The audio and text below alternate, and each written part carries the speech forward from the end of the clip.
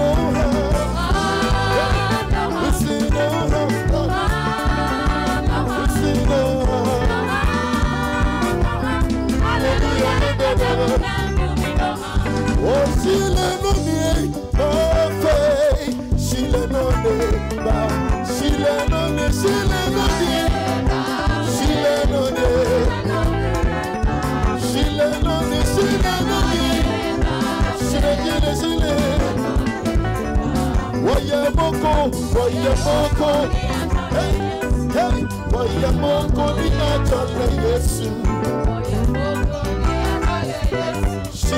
Yesu. Shile no ne, woye moko, woye moko. Come on, woye moko ni ajole Yesu. Woye moko, shile no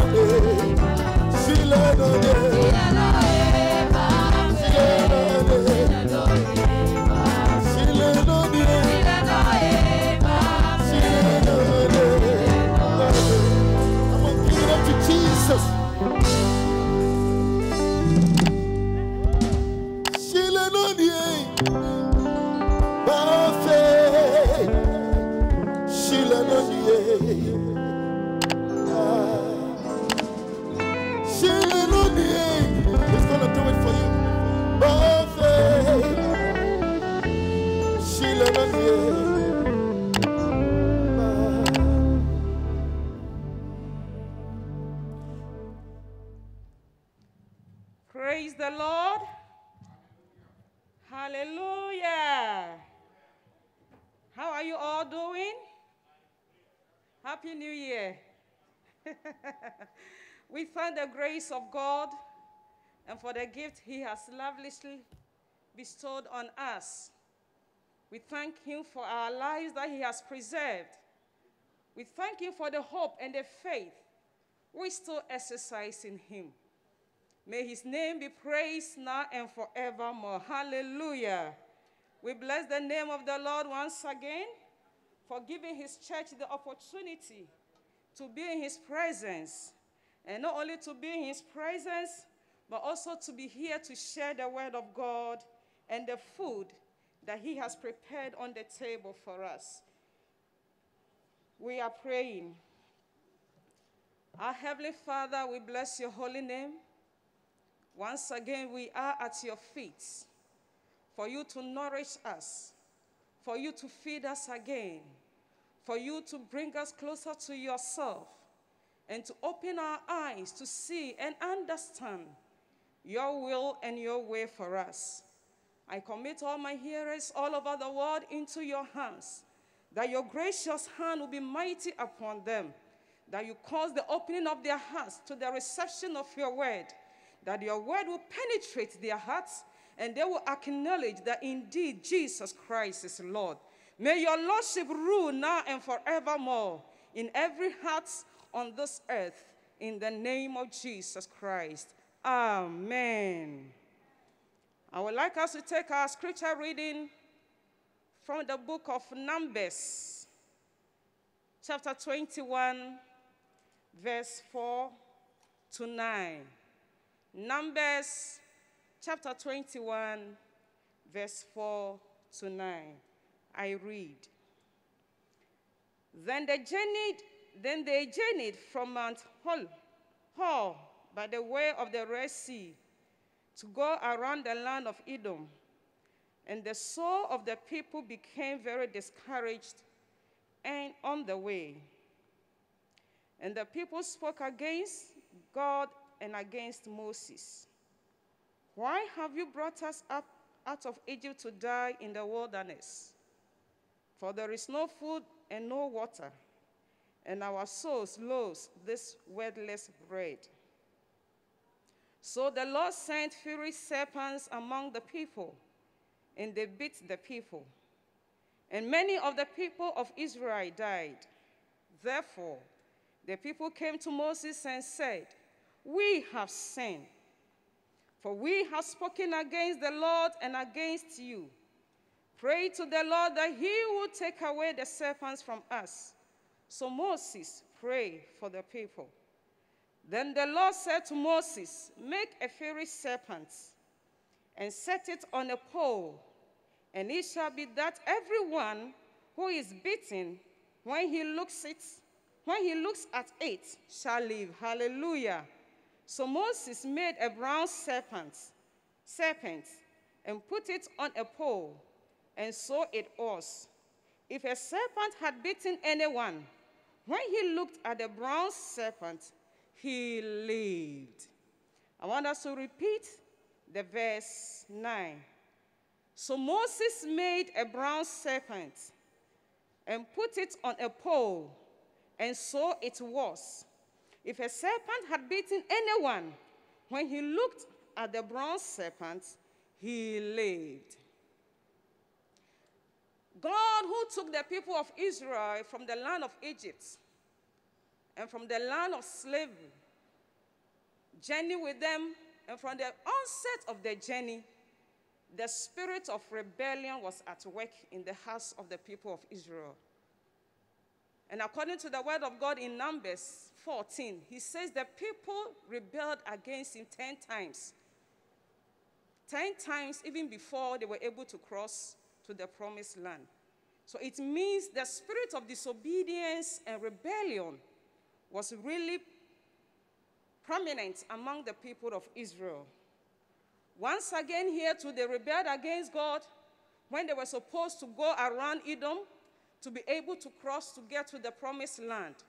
Because they became weary, they became tired. There was no food, there was no water. However, these people had forgotten that it is the same God who was feeding them with manna from heaven. It was the same God who gave them water from the rock. Everything they needed, God judiciously provided for them. And yet, when little difficult or discomfort comes their way, they forgot everything. And they began complaining, murmuring, cursing Moses here and there. And once again, they did the same thing when things were not going their way. The Bible said they were impatient and they began to curse God, they began to curse Moses. And as a result of their disobedience and rebelliousness, God sent poisonous serpents to bite them. And as the snakes were biting them, they were dying. And the people came to themselves, went back to Moses, and pleaded, Please pray for us, for the Lord to take away the snakes from us. In the Garden of Eden, the people rebelled. And when the people rebelled, God pronounced a curse on man that the very day you eat of these fruits, surely you will die. In the same vein, the people of Israel rebelled here. And as they rebelled against God, God sent snakes to kill them. However, the merciful and the compassionate God, the God who is loving and caring, who doesn't want us to perish, sent a redeemer, sent another snake, a bronze snake, a snake that was lifted on the pole. And the command is anyone who will look at the snake will live. The command is anyone who will look at the snake will live. God throughout generation, even from the time of Eden, had made a promise. And the promise was that, that the seed of the woman will crush the head of the serpent. And the seed of the serpent will also bruise the feet or the heel of the seed of the woman. God had made a declaration of redemption, even in his anger, even in his, in his pronouncement of curse upon man. So in the Garden of Eden, he said, If you eat these fruits, surely you will die. When the people rebelled, they, become, they became they started dying. But God made a provision. Today, my message is the standard of God cannot be compromised. The standard of God cannot be compromised. If the snake bites you and you are dying, the only standard I have set for you is to look at the bronze serpent that has been lifted on the tree. When God was angry with the whole human generation and wanted to wipe away all human race, he remembered Noah. And he said, Anyone who is able to enter the ark shall be saved. When God called Abraham, he told Abraham, I will make you a blessing. Anyone who blesses you shall be blessed. Anyone who curses you shall be cursed. God has a standard. And no matter who you are, no matter how old you are, no matter who you worship, whom you have believed, God has a standard.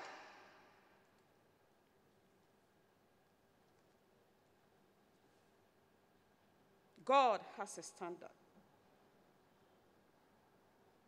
And He will never compromise His standard for any reason.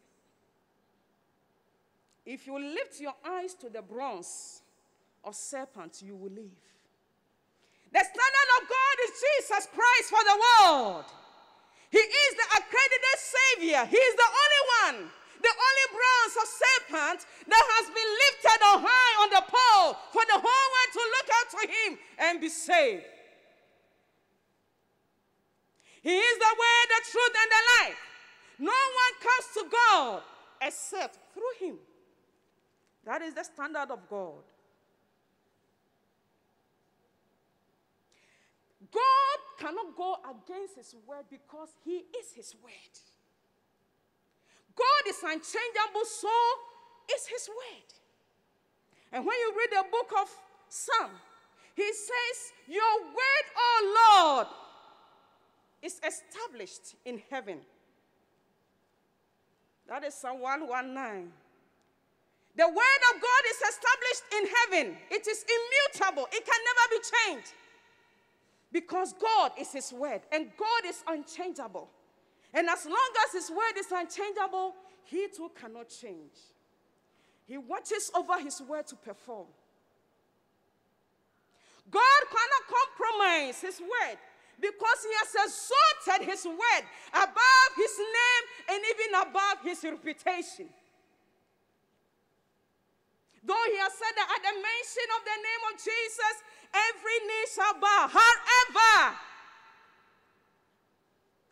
the word of God is exalted above his own name and his own reputation. And because he's not a man to lie, because he's not a man to lie, he is bound by his word. Whatever he says, he watches over it to fruition. God's word is his authority. If he breaks his word, he breaks his authority. So he cannot change his word. And God's word is infallible. He doesn't just decree, he doesn't just speak.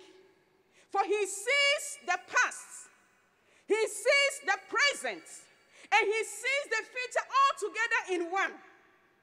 So whatever he decrees for yesterday, for today, and for tomorrow will stand because he knows the result of his action. He's an all-knowing God. He knows the beginning from the end. Therefore, when he decrees, his decree is perfect. He's not like a man who has to act before we know the results of his or her action. God sees his action and the results at once. And therefore, his word cannot fail. His word cannot be faulted. And the word of God is the standard of God. It's the yardstick. It is the standard that he has raised for everyone. So whether you are low or high, it doesn't matter.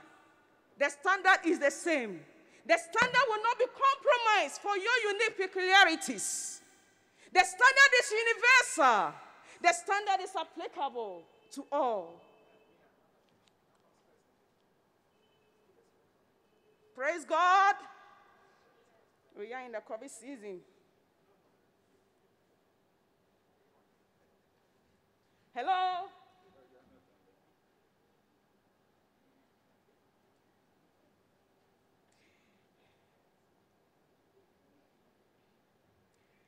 As I said, the standard of God cannot be compromised.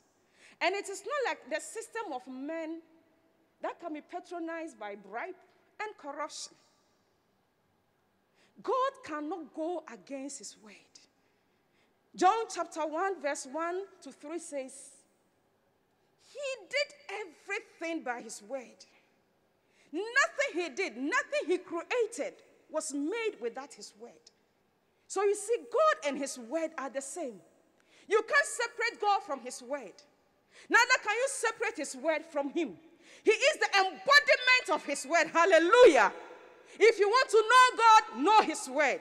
If you want to find God, know his word. If you want to know his character and his nature, know his word.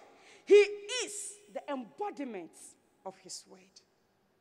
And that's why he cannot compromise it. It is a standard he has set. And it's a standard for the whole world, for all human race. And like the bronze serpent lifted on the tree, if you look at it, you will be saved. Hallelujah. Yes, this was a symbolic or a representation of what Jesus was about to do some years. The Son of God needed to be lifted on the cross. For the book of Hebrews says that without the shedding of blood, there is no re- redemption or no forgiveness of sin. And remember in the Garden of Eden, the book of Genesis, chapter 3, verse 15 downwards, when God was cursing the woman, he said there is going to be an enmity between you, the woman, and the serpent.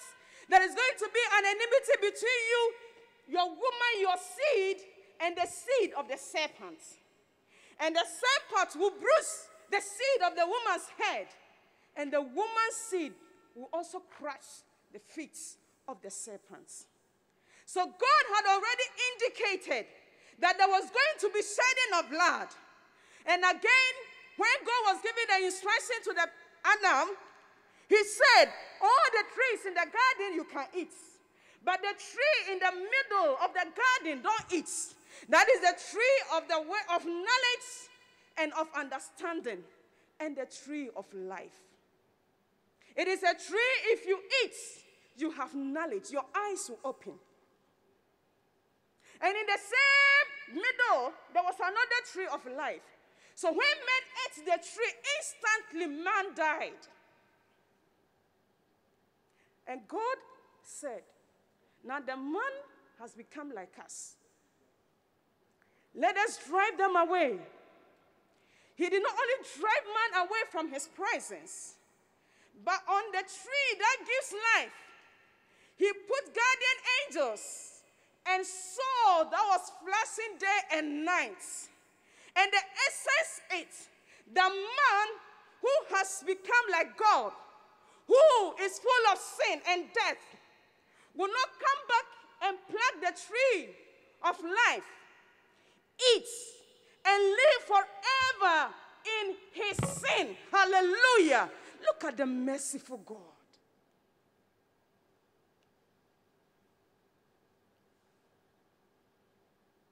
Though we sin against him, though he punishes us, and yet he makes a provision of an escape, a provision of redemption, a provision of salvation, a provision of grace and mercy. The agenda of God was that one day, one day somebody will climb that tree of life. Hallelujah. And plant the fruit of eternal life for you and for me. So God had already instituted in the Garden of Eden that the Son of God, the son of the woman, the seed of the woman, will one day climb that tree and to climb that tree requires the shedding of the blood. Nobody could plant that tree without going through the sword. That's why Jesus was lifted on the tree. That's why the bronze was lifted on the tree. Because God had decreed that one day the shedding of the blood must take place. No wonder women ever since have been shedding blood. And as I speak to you right now, over millions of women all over the world are shedding blood. to remind us of the word of God, of the fall of man. Without the shedding of the blood, no one. Hallelujah. And this word God has watched over generation to generation until it was fulfilled in the life of Jesus Christ. Again, God said, From dust you came, dust you will go. Ever since He made this declaration, nobody, whether you died in the air or wherever, you don't remain in the air, you go back to the dust. He said, Man will sweat, they will toil before we eat. It doesn't matter our technology, it doesn't matter our scientific advancement, we are still sweating and working hard before we put food into our mouth. He said, The wages of sin is death. Up to now, we are still dying as a result of our sin. Hallelujah. One thing about God's word is that it doesn't matter even your relationship with Him. Moses had a very good relationship with God. But when he sinned against God, and God said, My friend, you are not crossing to the promised land, he did not break it. It doesn't matter how Moses pleaded. And when he said that, apart from Caleb and Joshua, and children below the age of 20, nobody is crossing to the promised land. Nobody crossed. All those above the age of 20, none crossed, including Moses himself. That is the word of God. He does not go back, he does not revert his word, he does not compromise his word. So, Christians, we must be careful. World, you must be careful. For what he has said will come to pass. God goes by his word. He said, The virgin shall be with a son. This was predicted over 800 years ago by Isaiah. God watched over this word for over 800 years. And indeed, it was fulfilled in Mary. Hallelujah. Look at Abraham. God said, You and your wife, out of you, the seed will come. Abraham was well advanced in age. Sarah, the Bible said, had even passed the age of menopause. Yet, because God has spoken, because God has spoken, because He has decreed, it doesn't matter how old Abraham and wife were, they still gave birth to the promised seed. The word of God is active and alive. It lives from generation to generation. The word of God will never fall unaccomplished. The word of God will never die. The word of God is active because the one who speaks that word is alive forever. Hallelujah. The word is unchanging. It's the same yesterday, it's the same today and forever. So if God told the people on the desert that until you look at the serpent that has been lifted on the cross, you will surely die. Then today I am here to tell you that the gift that God has given to the world, the Savior God has given to the world, the broad serpent that is lifted in Jesus Christ, the one who died on the cross. He is accredited Savior for you, for you and for me. Why is Jesus Christ the accredited Savior? Everybody will ask, why? Is God unfair? Does it mean that all those people who over the years have not known God, have not known Jesus Christ, are they all going to hell? You know, the Bible is a big book. All those who died from Adam up to the time of Jesus Christ, when Jesus went into the grave, he made his salvation plan known to them. Hallelujah. Jesus spent almost 30 years on this earth. In the grave, he spent three years. And the word of God says that before the eyes of God, a day is like a thousand of years. So the same number of days Jesus spent on this earth preaching to you and I, it was the same number of years he spent in the grave. So don't bother about those who died before Christ. They had a chance to hear the gospel. So Jesus is the accredited Savior. Because prophecies concerning him had been fulfilled, that he will be born by a virgin, it was fulfilled. Hallelujah. He his sinless nature. You know, Adam sinned because he disobeyed God. One, because Jesus was born by a virgin without the issue of a man, there was no seed of sin in Jesus Christ. Even today, science proves it that surrogate mother do not affect the babies they incubate in their womb with their DNA. Therefore, Mary too did not affect Jesus Christ in her womb with her sinful DNA. Hallelujah. So there was no sin in Jesus Christ. Apart from that, the entrance of sin through temptation that came to him on the mountain after 40 for 40 days because he did not succumb and he did not disobey God and succumb to the will of Satan. Sin couldn't have an entrance to him. So Jesus' ability to overcome sin and temptation still kept him holy and righteous without sin. Praise the Lord. His death on the tree, as I initially said, initially said, that God had put a fruit on a tree of life. And to go there, man needed to die. And Jesus satisfies it. He went on the cross. So he died on the tree was the sacrifice that he paid for all of us. His resurrection, our hope. Paul says in the book of 1 Corinthians, chapter 15, verse 20, that Jesus is the first fruit of resurrection.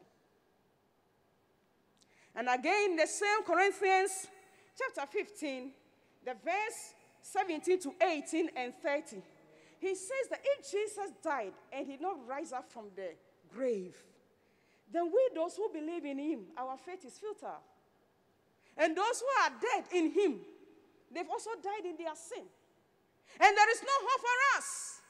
And that we are the most pitiable persons on this earth among all men. If Jesus died and he did not rise up again. So the resurrection is our hope. The fact that he died and he rose up again give us the hope that he is the credited savior. There is a story told of a man of a great religion who said he would die. And when he also died, on the third day, he will resurrect. So when they buried him, on the third day, earth, the earth where he was buried shook, indicating that the man was rising up from the grave. Then, as the earth shook and the, the hope of his followers were ignited, a thunder struck from heaven above and hit the spot that the man was buried and pushed back the corpse. You know, Satan is powerful. He can mimic God.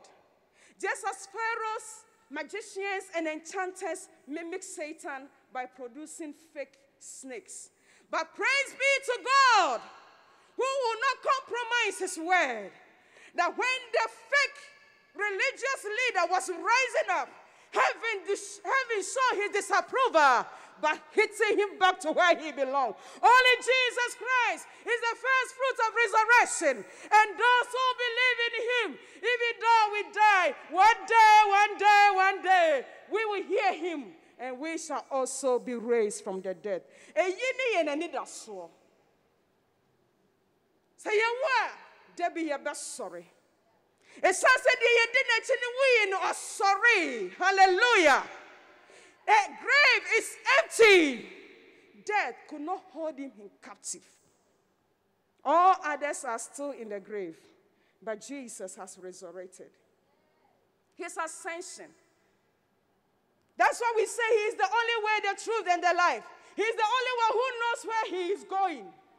And the Bible says in the book of Acts, chapter 1, verse 9, that while he was still talking to his disciples, he was being lifted up and he went into the sky. This is not a mist. And this is not just physiological ideas. This is something that really happened. Physical phenomena that physical human beings were there to witness the ascension of our Lord Jesus Christ into heaven. And Bible says that as the disciples gazed and wondered where he was going, angels came and said, My brethren, this same Jesus that he's been lifted up, he will come one day, hallelujah, in the same way. He knows where he is going. We those who follow Jesus Christ, we know where we are going. We know that one day we will die.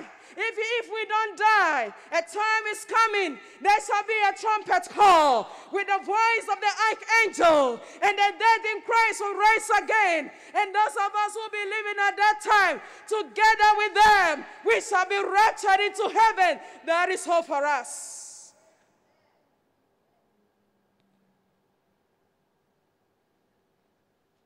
He is soon coming.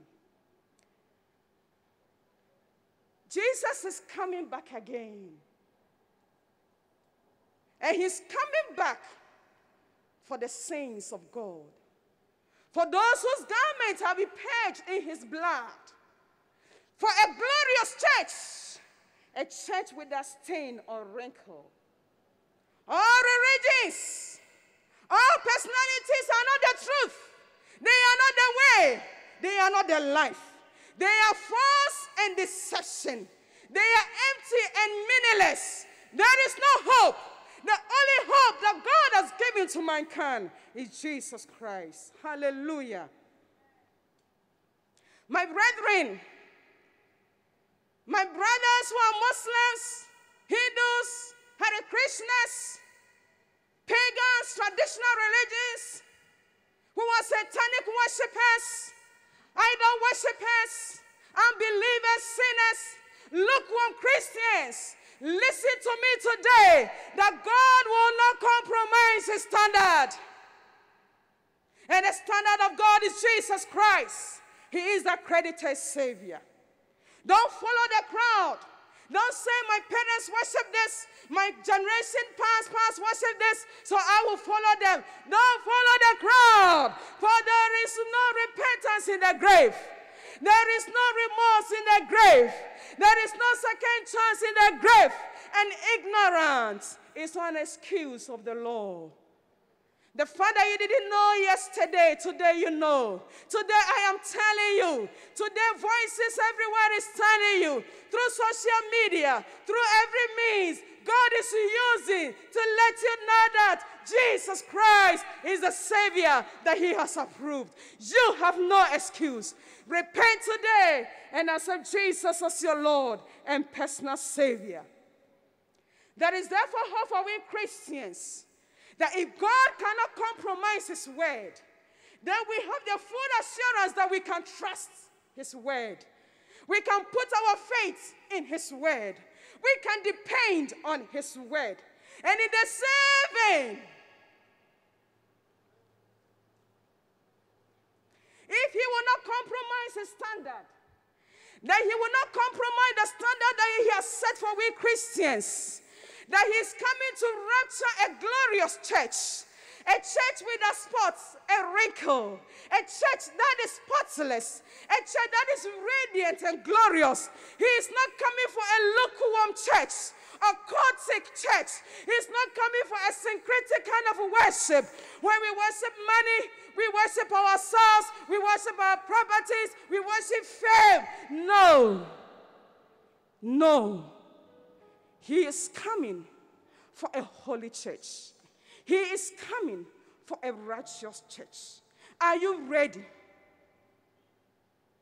Christians, are we ready? For so very soon the trumpet call will sound. Unbelievers, are you accepting our message that Jesus Christ alone is the standard that God has set for all of us, no any other? Today I recommend Jesus to you. Today Jesus said, Come to me, all those who are wearied and heavy laden, and I will give you rest. There is no rest in any personality. There is no rest in any image. There is no rest in any religion. Rest of salvation is in Jesus Christ, God's accredited Savior. Amen.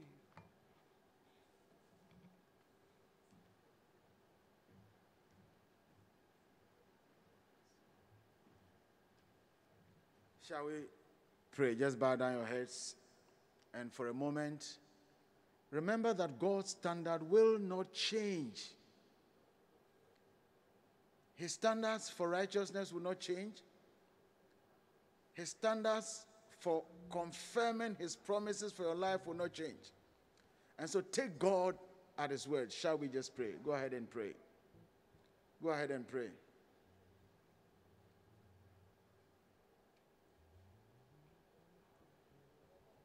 Kalebedoshi talabandezi karadosti kalalabandezi bradosti kalalabandaya.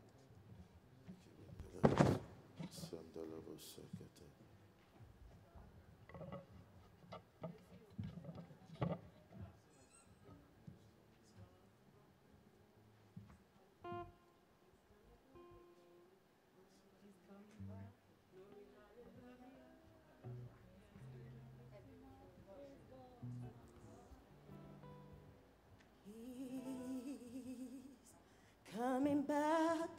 again.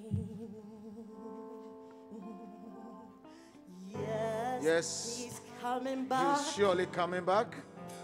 again.